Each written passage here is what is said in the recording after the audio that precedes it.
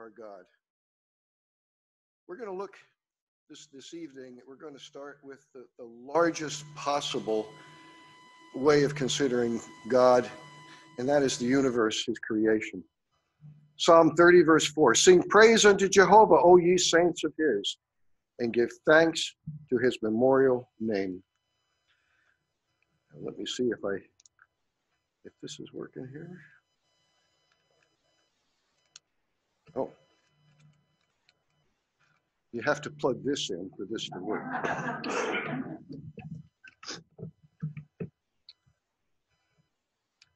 All righty, now we're cooking with gas. in the beginning, God created the heavens and the earth. We believe that. It's a simple statement that starts out that wonderful piece of literature we call the scripture, God's word. It's a simple declaration that everything that we see in the book of nature comes from the hand and the mind of Jehovah, our Creator. When you look at the skies on a clear night, you can see innumerable stars. Let me ask you a question. On a clear night without too much light pollution, how many stars do you think you could see? Give me a number. Well, between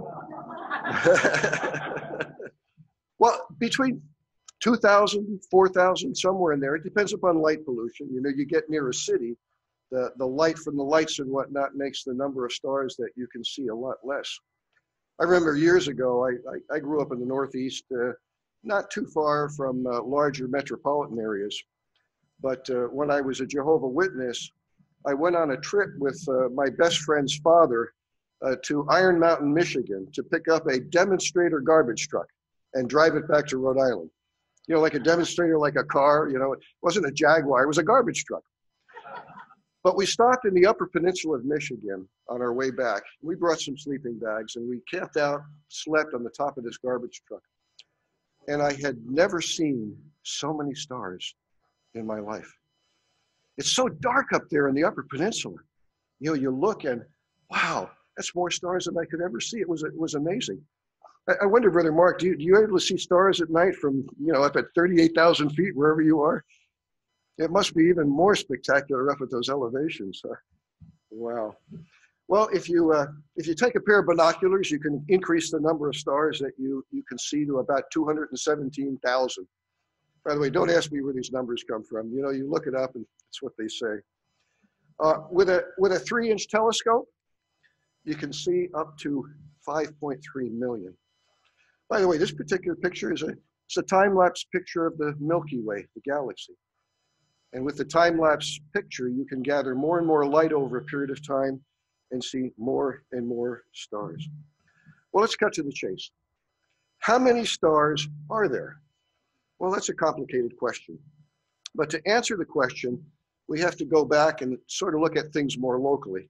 And I say locally with tongue in cheek. Here's a picture of a galaxy. A galaxy is a local collection of stars. The galaxy that we live in, which is called the Milky Way galaxy, is somewhat like this. It has bars and, and a, common center. It's a spiral galaxy, uh, as is very common within the universe. There are many types of galaxies, but that's a fairly common one.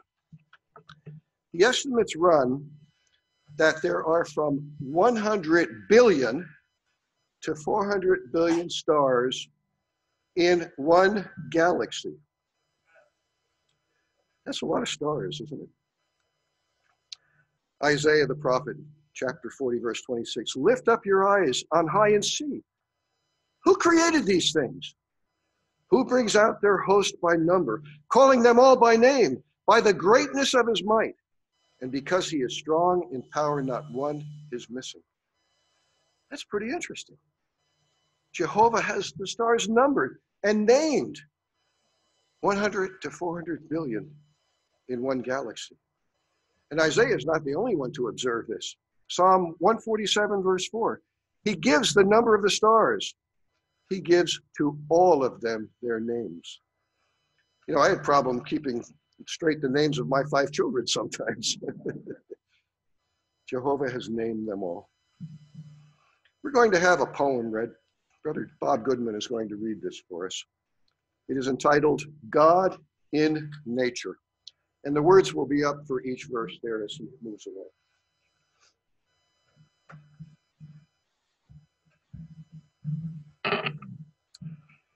God in nature.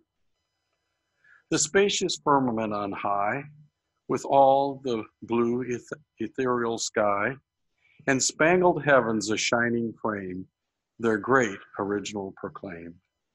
The unwearied sun from day to day does its creator's power display, and publishes to every land the work of the almighty hand.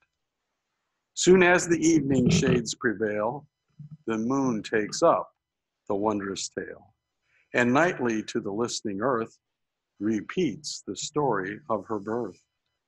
While all the stars that round her burn, and all the planets in their turn confirm the mm-hmm. tidings as they roll, and spread the truth from pole to pole. What though in solemn silence all move round this dark terrestrial ball? What though no real voice nor sound amid their radiant orbs be found? In reason's ear they all rejoice and utter forth a glorious voice, forever singing as they shine, the hands that made us is divine. Thank you very much, Brother Bob. I don't know if you ever thought about it or not, but when Adam was created, when he looked up in the sky, what did he see? Probably not much. Remember the firmament of the heaven, the Vailian uh, theory that described? None of those pre flood individuals saw the stars like you and I see the stars. Can you imagine after the flood, Noah and his family coming out and looking? Oh my gracious God, pray, what is this? And you know, the taking away of that firmament enabled man, of course, many centuries later, to be able to probe the depths of the universe and understand things. Psalm 19, verse 1. The heavens declare the glory of God, and the sky above proclaims his handiwork. What a simple statement from David, a psalm.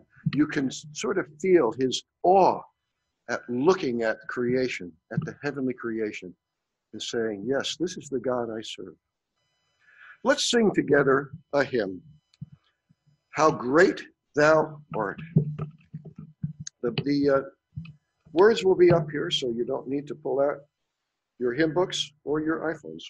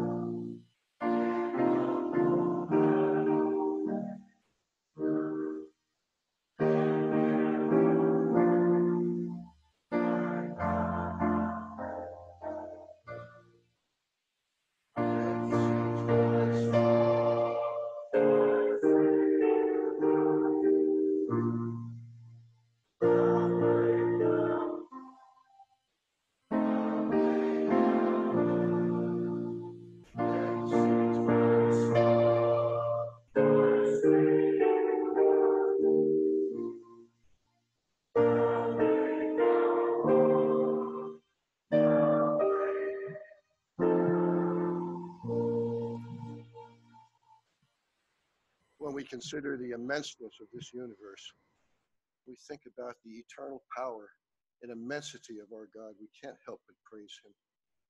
You know, we all want to give glory to God.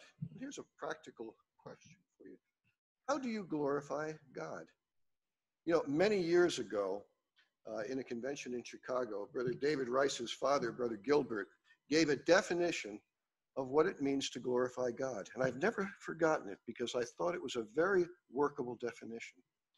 We glorify God by raising somebody else's opinion of God a little bit. Isn't that practical? You can do it, as we said yesterday, with a smile, with a word of help, always letting know that God is behind your goodwill and your good wishes for everyone. And they will think better of God, and you will have glorified God thereby. Let's go back to our galaxy for a moment. Remember, we said that there was 100 to 400 billion stars in the galaxy. Well, this is just one galaxy. When you go outside and look, all of the stars that you see in the sky are off from our galaxy. With the naked eye, you can't see hardly any other galaxies. There's one or two that just come very close to being able to perceive. But most of what you say, by far the majority, is just stars within our own galaxy. Well, how many galaxies are there? Here's a picture that has become kind of a classic picture. This is the Hubble telescope, and it's the deep field picture taken by uh, Hubble oh, many years ago now.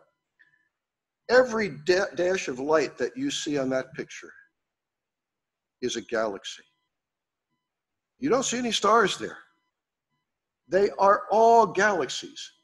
You know, if we had a good high resolution, you'd look and you you could see these little spiral galaxies and elliptical and spherical, and but it's all galaxies.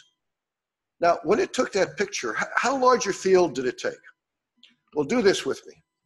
Put your fingers together like this. Okay? Hold it at arm's length. That's it. That's the field that you are looking at that Hubble took.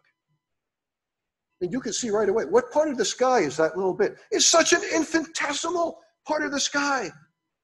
And yet, look, all of these galaxies.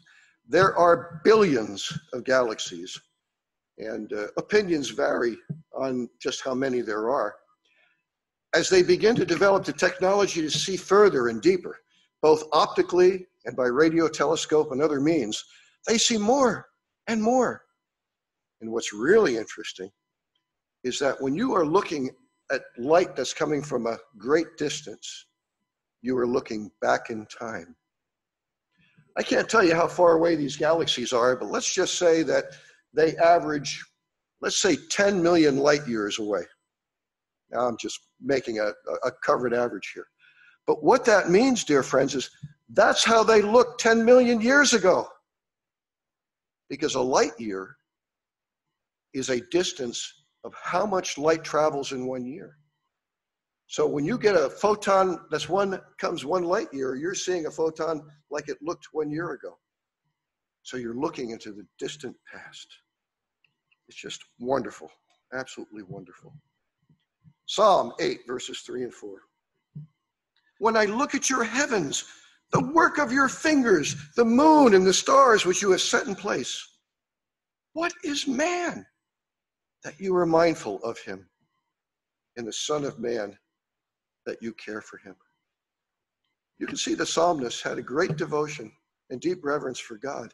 And he looked at what he could see and understand from what, 3,000 years ago? And he says, My goodness, this our God is done. What, what are we? Little pieces of protoplasm. Well, he didn't use the word protoplasm, but little pieces of flesh on this earth he just was absolutely amazed. We have much to be thankful and, and praiseful to our Heavenly Father. We've been looking at the universe, far distance galaxies. Let's bring it back to the Earth, this beautiful blue planet that exists. As scientists have developed uh, astronomical inspection, they have found planets that revolve around the sun. This is relatively recent, let's say in the past 10, 15 years. They could never detect planets running around stars because it was too distant. But now they've developed the technology that they, that they had. they haven't found anything like an Earth like planet yet. Most of the planets they have found have been very large, like Jupiter, easier to see, of course, with the equipment that they have. But they haven't come close to finding something as beautiful as Earth, or a place that comes close that could support life. Here's an interesting scripture Isaiah 40, verse 2.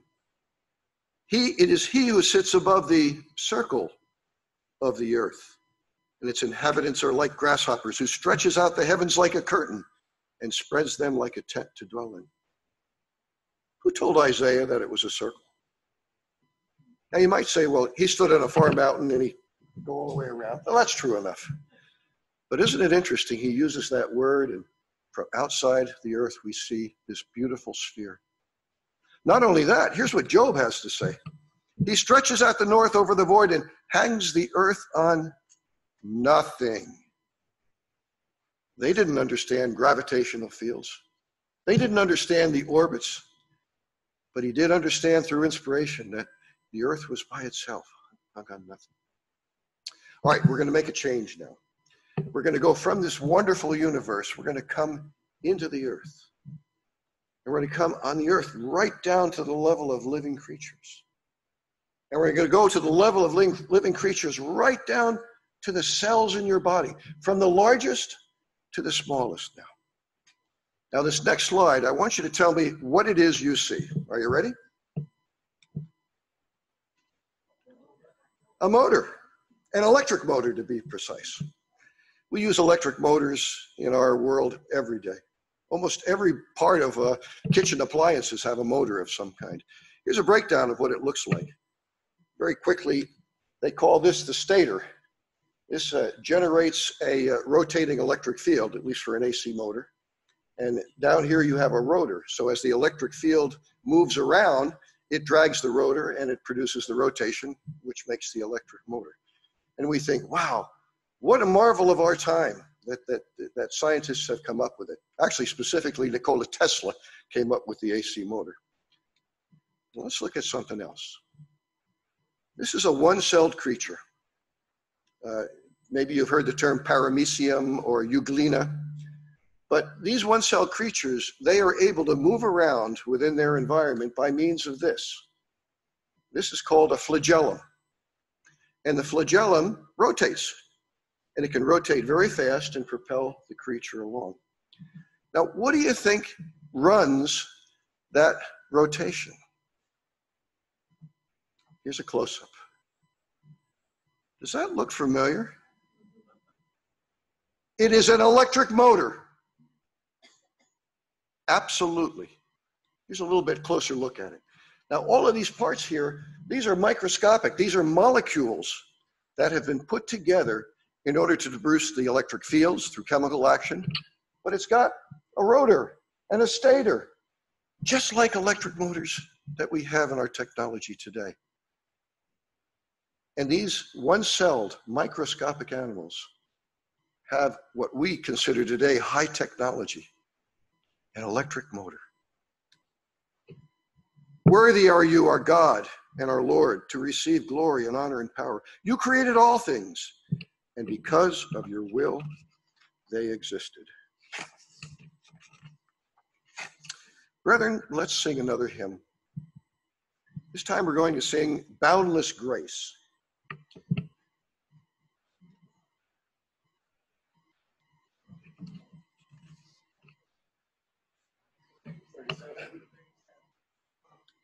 Yes, hymn 37. I'm sorry, sure.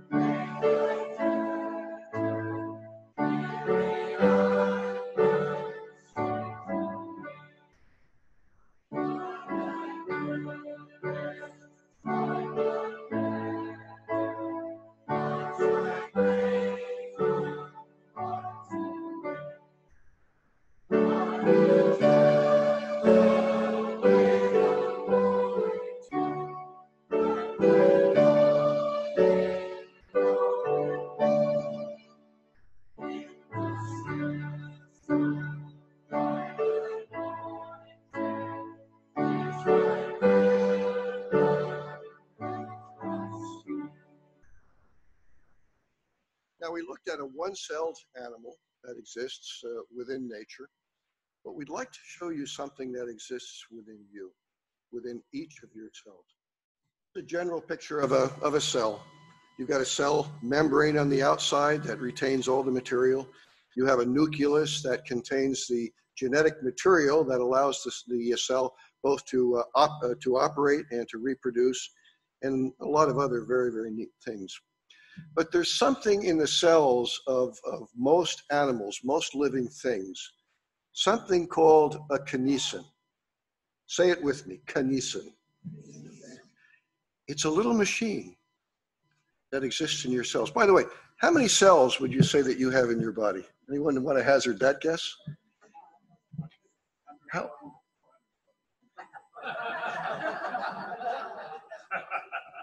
It, it, uh, Brother Brian's using the number of stars, you know.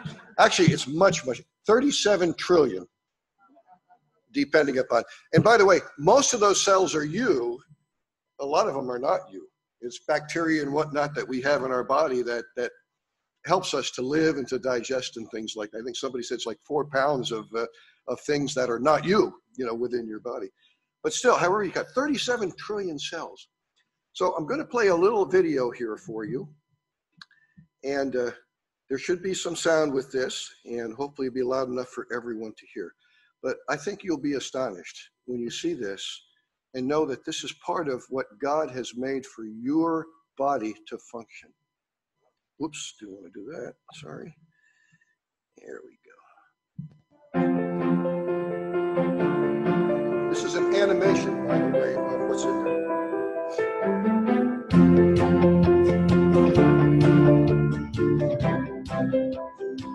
Cells are full of specialized components that perform functions vital to their existence. But how do these components get to the right locations inside the cell to perform their functions? For larger components, a transportation system is needed. Meet the kinesin. Masterpieces of microengineering, kinesins are miniature motorized machines that carry cargo from one part of the cell to another, walking along self-assembling highways called microtubules.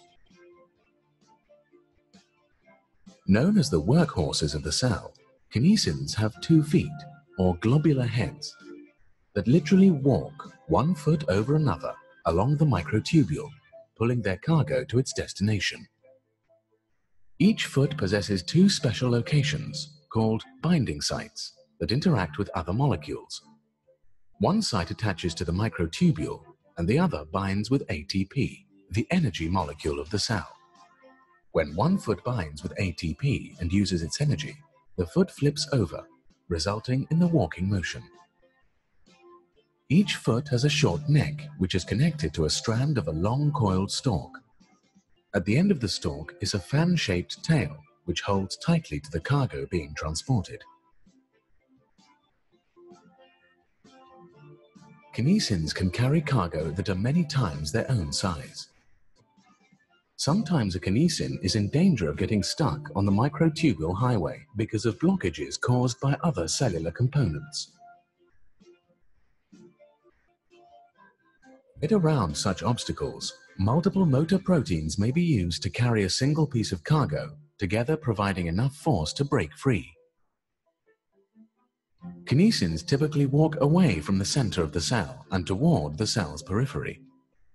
The kinesin's two feet work together efficiently, with one foot holding fast to the microtubule, while the other releases itself and takes a step forward. This coordinated stepwise movement allows kinesin motors to walk as many as 100 steps per second, moving about 8 nanometers with each step. When not carrying cargo, kinesins can shift to energy-saving mode to conserve fuel until their next job. The kinesin plays a vital role in many cellular processes, not just transporting materials, but also aiding cell replication the walking kinesin molecular machine, another example of intelligent design.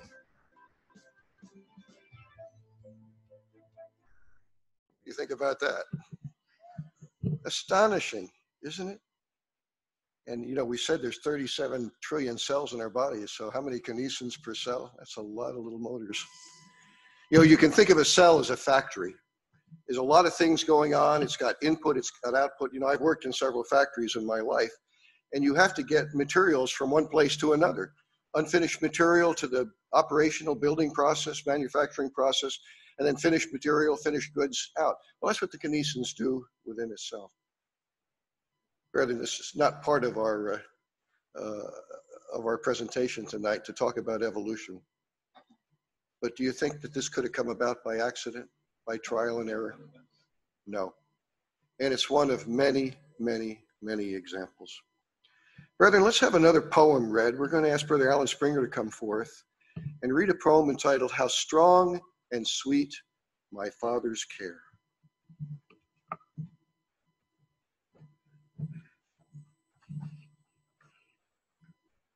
How strong and sweet my Father's care, the words like music in the air, come answering to my whispered prayer, He cares for thee. The thought, great wonder with it brings, my cares are all such little things, but to this truth my glad faith clings, He cares for me. Yea, keep me ever in thy love, dear Father, watching from above, and let me still thy mercy prove and care for me. Cast me not off because of sin, but make me pure and true within, and teach me how thy smile to win, who cares for me. Oh, still in summer's golden glow, or wintry storms of wind and snow, love me, my Father, let me know thy care for me. And I will learn to cast the care which, like a heavy load, I bear down at thy feet in lowly prayer and trust in thee. For naught can hurt me, shade or shine, nor evil thing touch me, nor mine, since thou with tenderness divine dost care for me.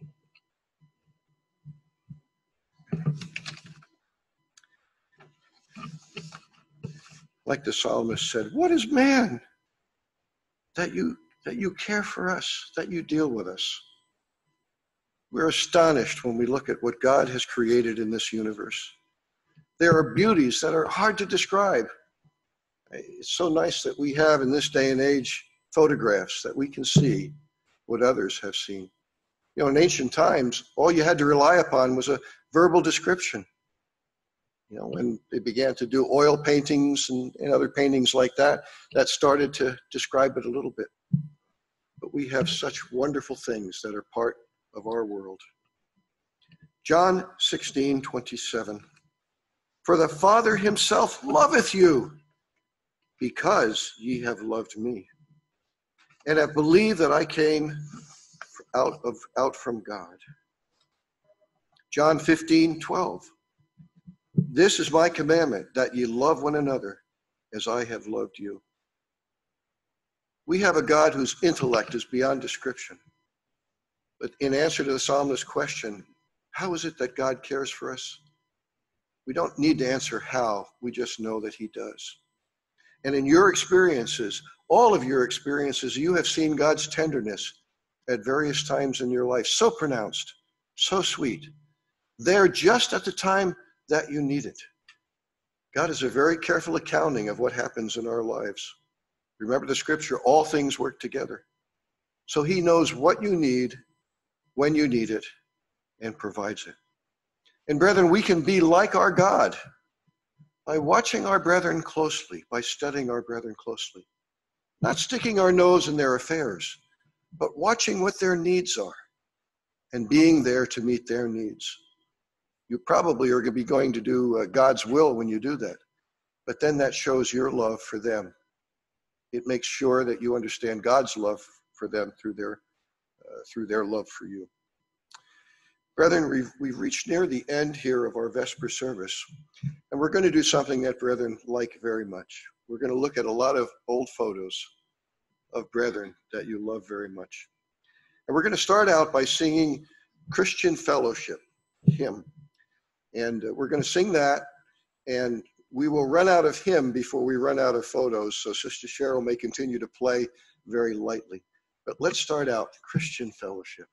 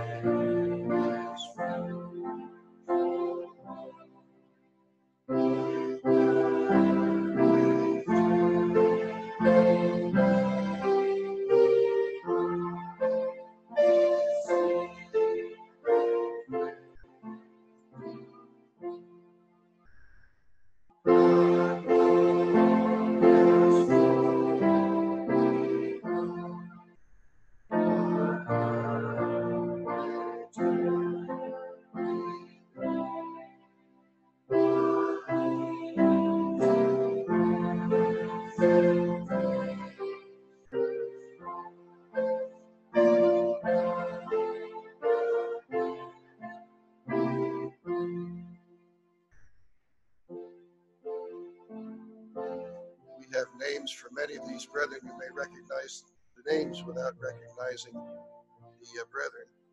Many of you remember Sister Alpha Katurba. We Brother Art Cook, Charles Smith, Charles Thornton, and Brother Leon. Herman Hummel, Brother John, there's your dad. Wilbur Poe, Sister Poe. Brother and Sister Gannon. Didn't know them. Dawn Sign Maker. Any remember the Gannons? This was not a name that I had. Mary and Lee on Norby, State Fair Witness 1964. 1968 Mackinac Island Convention. Barb Thornton, Leon Norman, our beloved brother Luke. Same convention. Paula, Vicky, Lydia, Esther, and Paul Barker.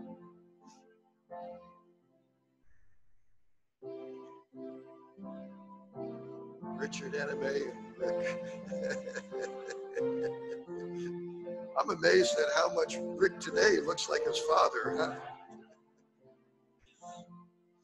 By the way, coming from the Northeast, we gathered these mostly from Northeast brethren. So the brethren from the West Coast uh, don't have too much there. Down in Florida, though, you'll see a few more, I think. For the Gloria and Art Luce, who in later years moved up to uh, upstate New York and uh, had the East Coast Bible Camp at their, at their farm for many, many years. Sister Ruth, Joe and Seal Mitchka. We knew them when they were at Patterson before they retired down here to Florida. Many of you know them well. Faith, there you are. Sister Felicia, Sister Monte.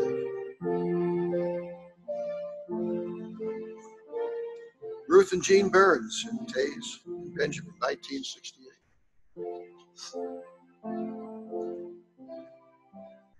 68 Atlantic City, Sister Sandy. her aunt, Sister Joyce Bateman. Probably not many of you knew Sister Joyce, but what a saint, outstanding saint. John Moore and Sister Carmela. Brother and Sister Fry. You've heard the name, no doubt. Well, there's what they look like. Don't know the name of the sister to their left. If anybody knows, let me know. David Dinwiddie and Brother Bernd Eckholt, who served this uh, convention many times. Tom and Ruth Bullard, dear brethren to uh, all of you. Tom and Jan Gilbert.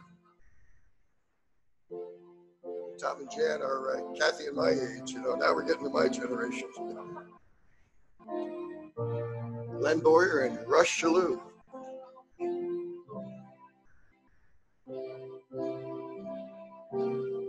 August and Louise Tornquist. Dear brethren, wonderful servants of the Lord, and not only spiritual matters, but many physical needs of the brethren. Brother August and Sister Louise were outstanding. Bill and Mary Geisinger and Sister Marcia. Levi and Sister Jacobs. You remember talks by Brother Levi, don't you? Wow.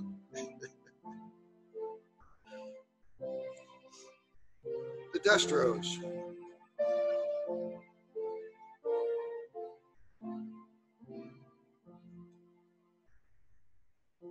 John and Esther Tresiak. Barbara Thornton and Brother Ray. Frank Shalou, Charles and Barb Thornton.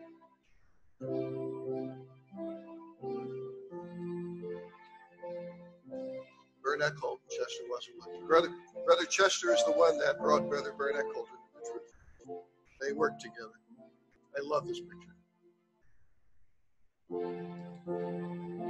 Brethren, let's close with Psalm 148, 1 through 6. Praise ye Jehovah. Praise ye Jehovah from the heavens. Praise him in the heights. Praise ye him, all his angels. Praise ye him, all his host. Praise ye him, sun and moon. Praise him, all ye stars of light. Praise him, ye heaven of heavens. And ye waters that are above the heavens, let them praise the name of Jehovah, for he commanded, and they were created.